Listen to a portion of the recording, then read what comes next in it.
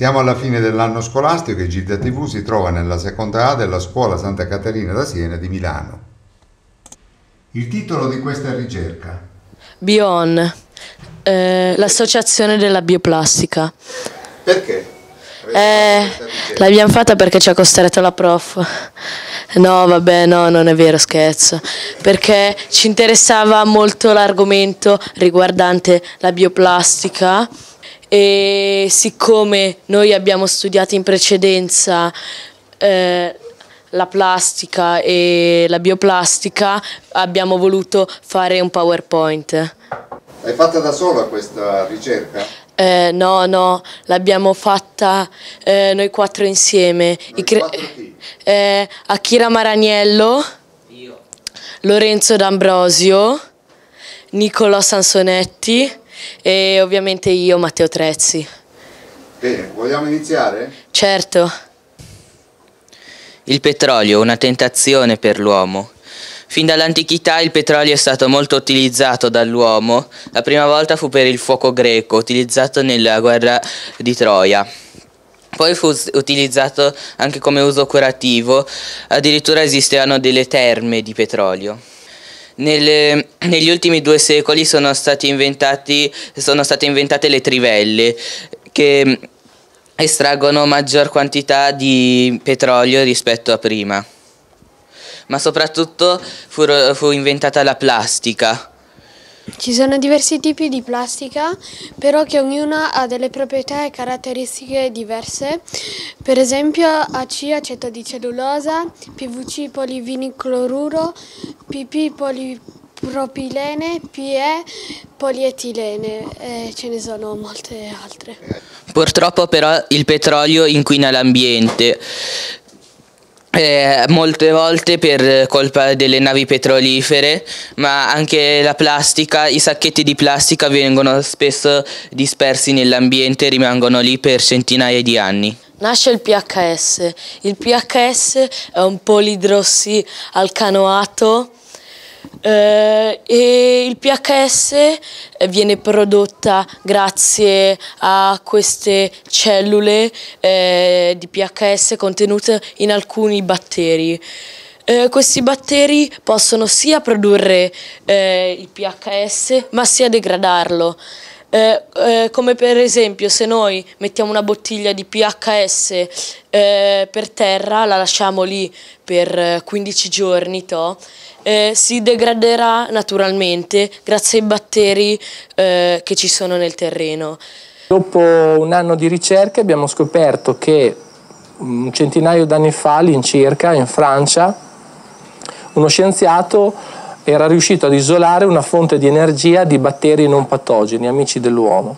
Eh, solo che essendo il 1920 non esisteva ancora la plastica come esiste oggi e quindi questa persona scoprì semplicemente che dei batteri cibandosi di fonti di carbonio di scarto, quindi fondamentalmente di zuccheri di scarto, al loro interno eh, producevano una fonte di energia. Questa fonte di energia paragonata a quella che fa l'uomo, che produce l'uomo, che è il grasso, per questi batteri era poliestere, quindi plastica. E in seguito il Minerva PH. Il Minerva PH, eh, a differenza del PHS, ha la proprietà di degradarsi nell'acqua. E, e soltanto se lo lasciamo eh, in, in, un semplice fiume o un torrente per una decina di giorni si degraderà senza lasciare detriti. Eh, il, esistono diversi tipi di Minerv PHS, pH. E infatti c'è per esempio quello prodotto dalle barbabietole da zucchero o quello prodotto dalle canne da zucchero. Come viene degradata la plastica? La plastica, quella prodotta dal petrolio, non si degrada ma si fotodegrada in centinaia d'anni, mentre la, il, nuove, i nuovi tipi di bioplastica, que, quelli che ha detto il mio eh, gentilissimo collega, eh, si degradano il PHS eh, viene degradato dai batteri che lo riconoscono come se fossero il loro nutrimento, mentre il eh, Minerve PHA eh, si degradano nell'acqua. Cosa si produce con la bioplastica? Eh, con la bioplastica eh, si possono produrre bicchieri, lampade, eh, bottiglie o anche Lego. Eh, infatti eh, Bion si è messa in collaborazione con eh, un'altra azienda, la Lego, per produrre mattoncini in bioplastica.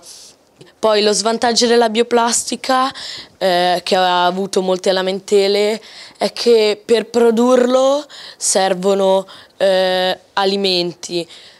Se noi per esempio usiamo una piantagione di mais e usiamo tutto il mais per produrre la plastica, se continuassimo a, a usare gli alimenti per produrre non ci sarebbe più cibo. I fondatori di Bion sono Marco Astorri, eh, che è colui che diciamo, ha fatto partire questa azienda.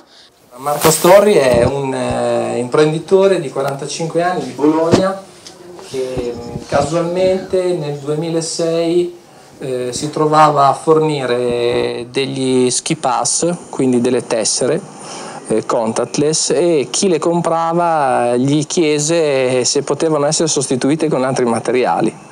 Fondamentalmente che non fossero carta, perché si bagna nella neve, e ovviamente dopo non funzionano più, e che non fossero plastica, perché poi la plastica a primavera si ritrova sparsa nelle montagne. E lì devo dire che mi si è aperto un mondo. Io in quel momento facevo microchip, silicio, e quindi eh, vedere che c'era la necessità di avere altri prodotti che non fossero plastica, un tipo di materiale buono, però che fosse come la plastica ma biodegradabile, eh, mi ha fatto capire che c'era un mondo che stava per partire.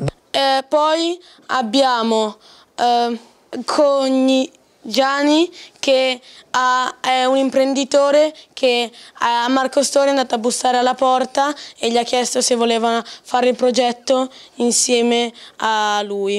Uh, la Bion ha fatto anche le lampade floss che uh, vengono usate anche in, questo, in questi anni.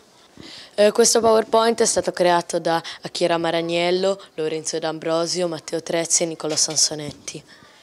Un applauso. Secondo me i miei compagni hanno fatto un bel progetto perché hanno spiegato tutto e quindi...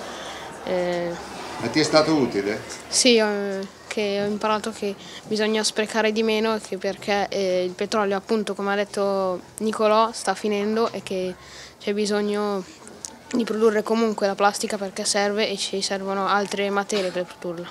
Bene. Secondo me è stato un progetto eh, strutturato molto bene e mh, appunto eh, è molto bello e ho imparato cose nuove perché ehm, è pieno di informazioni. Hai parlato con i tuoi genitori di, questa, di questo lavoro fatto dai tuoi compagni? Assolutamente sì, perché è importante alla fine sapere che cosa ci circonda e il lavoro di questi ragazzi è sviluppato bene, ci hanno messo impegno, voglia e pazienza e uh, sì è interessante anche scoprire cose nuove, mi ha rivelato anche cose che non sapevo. Allora, secondo me è stato un progetto molto interessante perché trattava degli argomenti veramente sensibili e come, come potrei dire, come, perché lo spreco al giorno d'oggi è molto grande e secondo me questa è una plastica rivoluzionaria che potrebbe cambiare tanto. Uh, sì, io ne ho parlato ai miei genitori, hanno anche loro trovato che questo progetto sia molto interessante. A me è piaciuto, mi sono divertita, ho scoperto cose nuove e sono stati bravi anche a presentare. Avrà un futuro questo progetto? Uh, secondo me sì, se ci mettiamo sì.